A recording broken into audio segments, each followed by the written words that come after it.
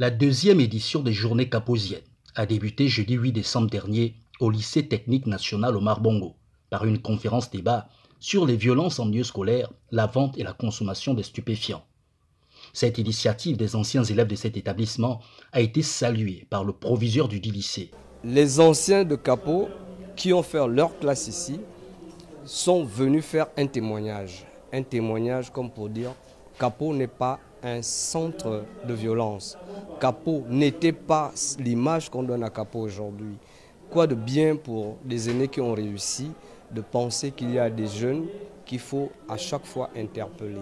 Et nous, les chefs d'établissement, nous mettons en musique cette politique de lutter contre la violence en milieu scolaire.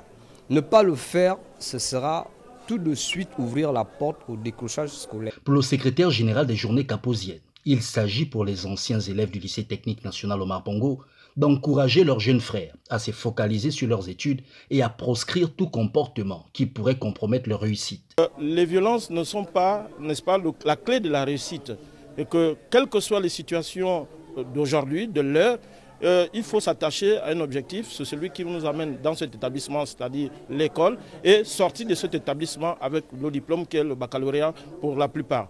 Donc c'est cela le message. Les journées caposiennes qui s'achèvent samedi 10 décembre prochain se poursuivent ce vendredi à la Chambre de commerce avec des expositions ventes.